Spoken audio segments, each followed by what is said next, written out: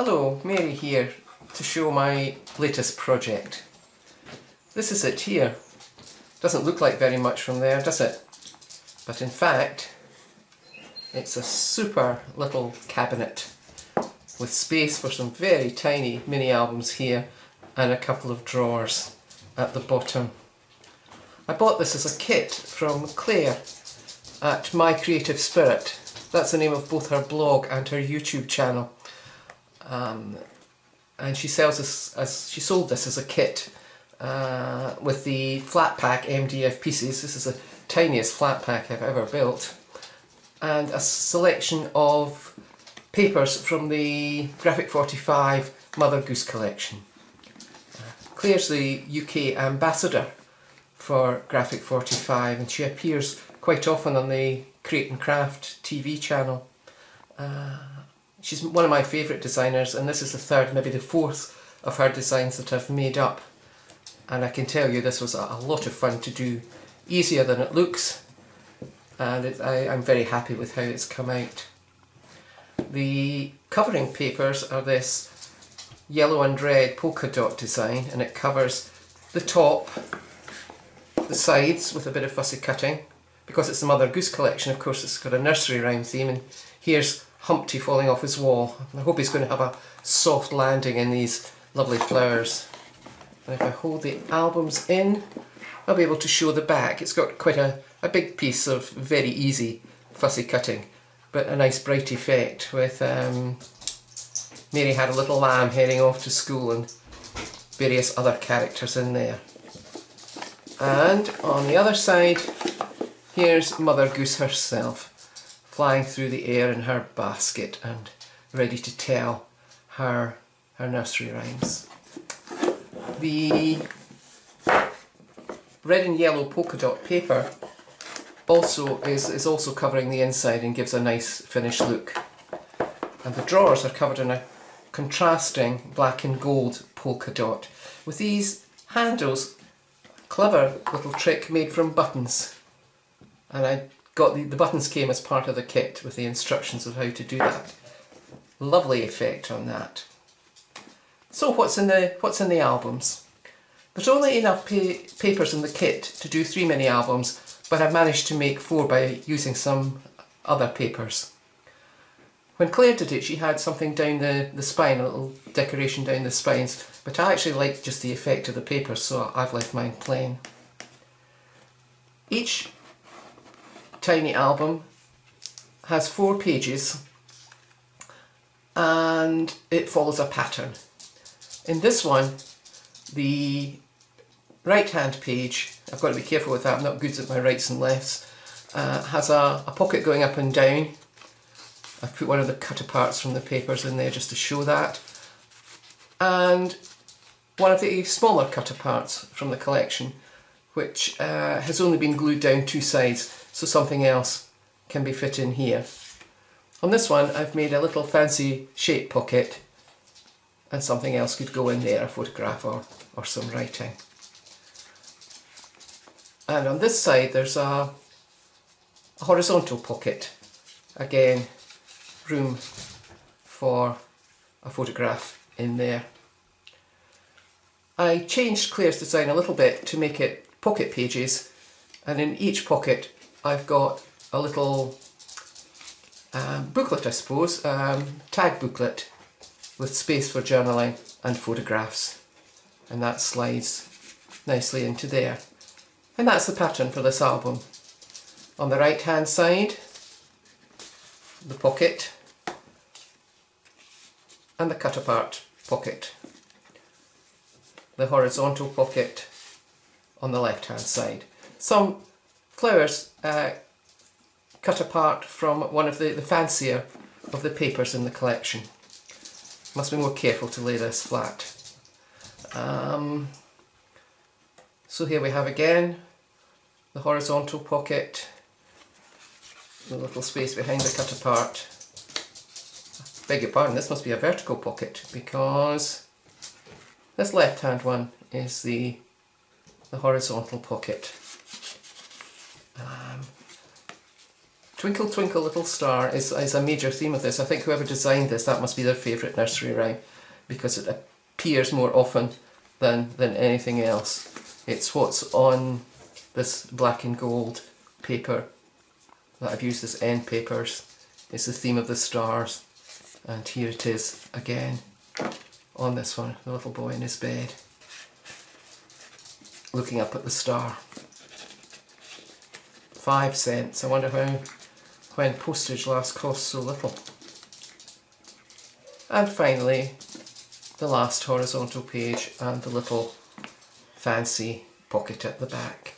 That's album number one. All the albums fit that kind of pattern, but I've made them slightly different for each one. The green one has got a garden for a postcard. Um, Mary Mary, quite contrary, how does your garden grow? This one has got a magnetic flap on the right hand side and I've made a little tag to decorate that. I've made this tiny uh, tag here with one of my very first Sizzix dies and decorated it with a bit of fancy cutting from the paper. Underneath the flap there's a little keeper here which will take, oops, uh, not that it matters, I'm just using this to show, um, take a little bit of, uh, a little photograph or some journaling there.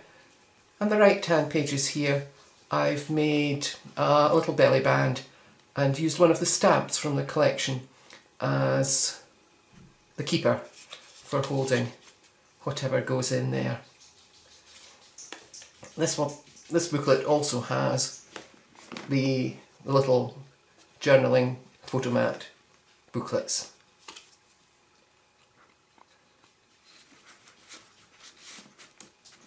And that's, oh no, this, this, um, this album has got a diagonal pocket for the left hand page.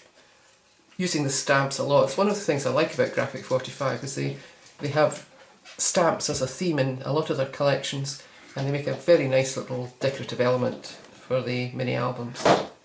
So here we go, varying it we're varying the, the patterns. This page has got oranges and blacks. Um, so here's the little magnetic page with a tag, a little keeper here, and the belly band with the, the, the stamp keeper. Uh, yellows and greens for this page with a little black to offset it. Um, don't the colours all work beautifully together? And here's one of the, the pieces of music in that paper. And the final one of these, the magnetic page, the belly band. And the last diagonal pocket.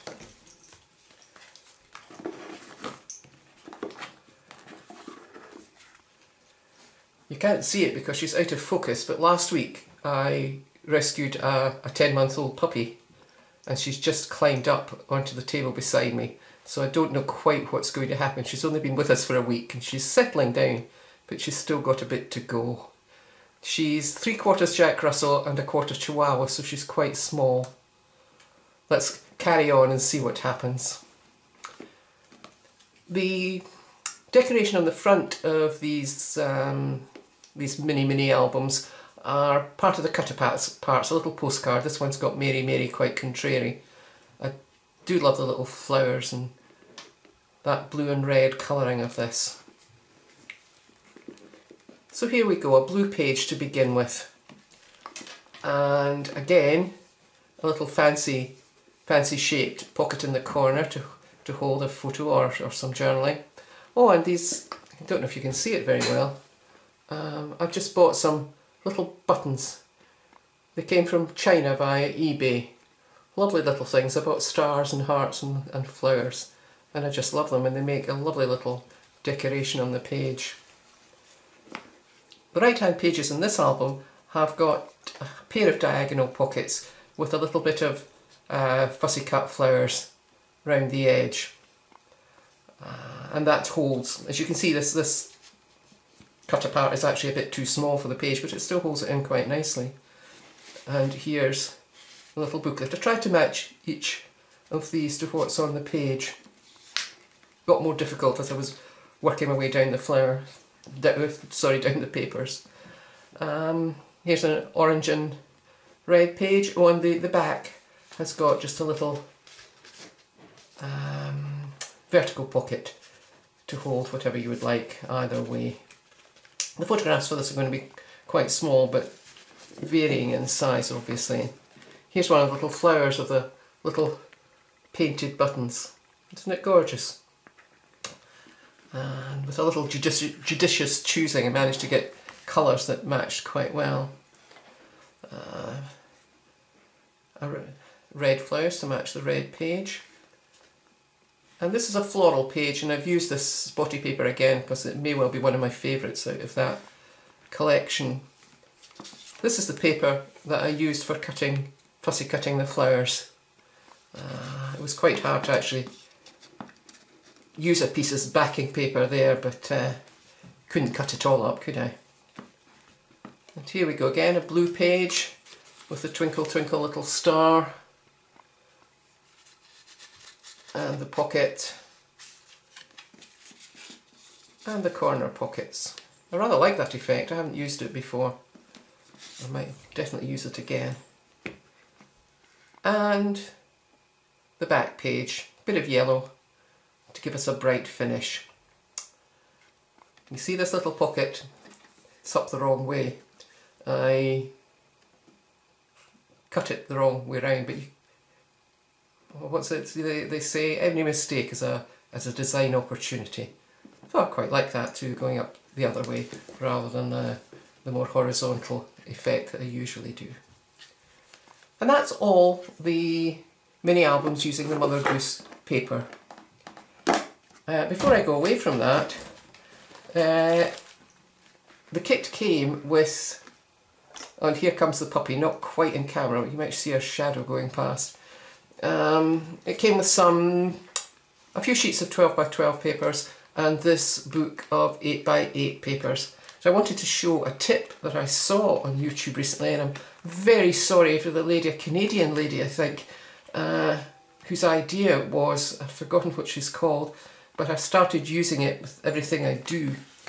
She uses old envelopes and she sticks them in the back of her uh, her pads and uses it to, to hold together all the scraps from there. I've got a few pages left. That's enough to do something else with, especially since I've got all these scraps. And it's a super idea. She actually uses old envelopes. I've used just a, a celly bag. Oh, here's Puppy's nose. Hello, Puppy. I think we'll have to put you down on the floor, okay?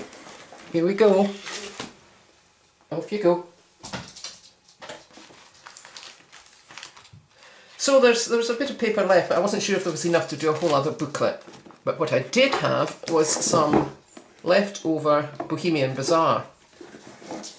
Also a paper collection from Graphic 45 and the colours match quite well so I've used that for my final mini mini album. Um, I had not only the papers for this collection but I had some of the chipboard uh, embellishments. Gorgeous as that. And look how well it ties in with the red and blue flowers with the mother goose. So I'm happy with this. So what I've done with this one is, um, this is one of the little envelope pockets that come with the Bohemian Bazaar collection. And this is a page with a, a belly band. I should rescue my, here's a strip of, of stamps from Mother Goose. But I've kept up with a little booklet with the, the journaling space, each one echoing the theme. Same paper if I had some, echoing if not. Again, little um, sideways pocket. I can use this.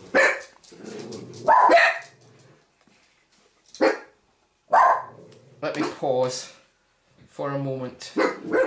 I had to stop the, the camera there for a moment because my dogs decided to set up a hullabaloo. There probably will be a little bit of, of barking on the, the previous bit. Uh, so they're safely tucked away in another room so let's try and get this finished. Um, first page red, next page I've done blue. Here's a little vertical pocket. I haven't said, probably everybody will recognise that I've uh, decorated the, the edge of these pockets with the Martha Stewart doily, doily punch. Um, I don't think I'm the only person for whom that's the, the favourite punch. Aren't the colours in these papers gorgeous? And back we come. In this collection there's a very similar red and yellow spotty paper uh, to the other one. Slightly fancier but very similar effect. Just as nice isn't it? Uh, so there's the belly band and there's the little pocket and here is the tag booklet. On this page it's yellow. That's the back of the, the red paper. Absolutely gorgeous and it this flower is a theme and it's got a little cut apart inside with wish list. And finally back to the reds again. So I think that tones in reasonably well with the Mother Goose papers. It'd be better if that was the right way up, it would look slightly better, wouldn't it? And that gave me my fourth album and fitted in to the space. I did one more thing, I've left the bottom drawer, if I turn it around this way, empty, and that can take photographs or memorabilia or anything you like. But in the top drawer, I decided to make one more little booklet. Let's just see the inside of the drawers. For my first attempt at doing something like this, I'm very happy with how it's turned out. So I've made a little um, photo folio for this one. Um, for this I have to credit Ginger at My Sister Scrapper one of my other favourite designers whose ideas I've used a fair bit. Uh, this is a totally different set of papers. Um, it's Hopscotch by Fancy Pants Designs. Here's a piece cut out. I've actually used a bit of the um, these pieces that show you what's inside and I'm certainly going to use the, the stripy paper at the top this is the same quality of paper as the papers in the collection, so it's useful. Now, I have to say that out of all the papers today, much as I love the Graphic 45, this one is my absolute favourite. It could be something to do with the fact that daisies are my favourite flowers. Made a big boob with this one. This was supposed to be the front cover. Um, a Thing of Beauty is a Joy Forever. Um, but I didn't check the inside before I stuck that on so it's now a little back decoration and the front has got a swirly pattern. This uh, blue gingham is actually the back of, of this lovely flowery paper and there's lots of little words with this one so I've used one or two of them and this one says wonderful. And it's very very simple. A little pocket at the side saying my family. Um, little bookmark and just some odds and ends of papers left over from the sheets that I was using. Here's another view of this absolutely beautiful paper that I love so much with all the wildflowers on it. I think I'll stick it in the front. Yes, I also love this, uh, don't I love them all, um, love this little orange uh, polka dot paper distress look, lovely. So it's got this little pocket on one side and four little waterfall cards on the other. Um, I have put a couple of little keepers on each one from from the collection. This is what I cut out of the cut cover sheet. I thought that'd be nice there, make a change. And I've used the orange polka dot and this kind of very subtle stripy paper together and that's all there is to it for that one. And it fits perfectly in the drawer. And that's my little cabinet.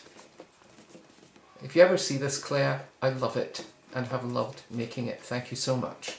And thank you anyone who's watching